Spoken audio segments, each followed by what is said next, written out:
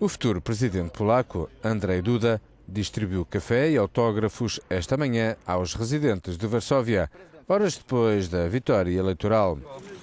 O candidato do Partido Conservador Lei e Justiça arrebatou a chefia do Estado ao presidente cessante, Bronislav Komorowski, candidato do Partido Liberal, atualmente no governo.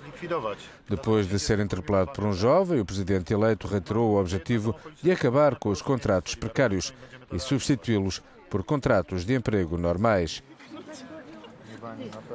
A maioria dos passantes mostrou-se satisfeita.